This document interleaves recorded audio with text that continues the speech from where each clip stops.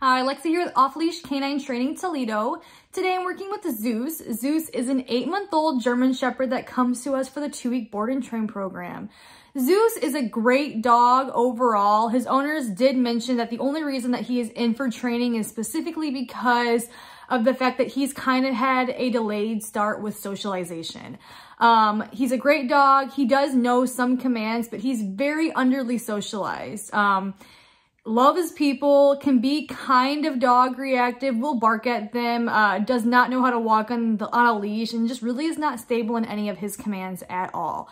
Um, his owner's biggest issues are actually bath time. Um, they fight, they cannot get him into a bathtub without fighting with him. So the place command is going to become um, really handy when it comes time for us to teach him these commands. Um, teaching him foundation obedience um, and lots of structure inside the house is going to give him the confidence that he needs in order for her to get him into a bathtub to be able to give him a bath without him trying to fight with her the entire time. When it comes time for Zeus to do any kind of commands, um, he does know commands. He knows how to sit, he knows how to down, um, but he's not stable in those commands. And he does not do them the first time that you ask him to a lot of the times.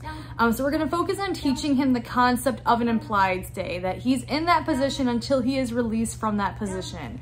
Um, when it comes time for Zeus to heel, he actually isn't terrible on a leash. He actually kind of walks pretty okay. He does pull some, kind of zigzags back and forth, um, but he is kind of dog reactive. So if he sees a dog in the distance, he will bark at a dog. Um, he will also bark at them if they come into the yard or if people try to come into his yard.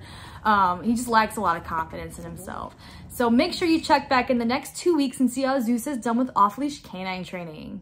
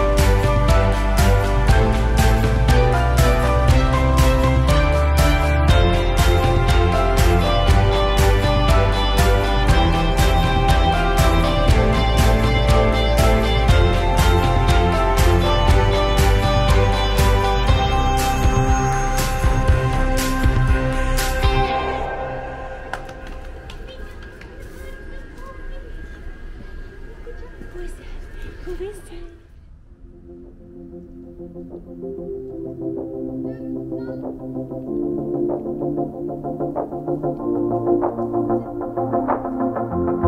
you.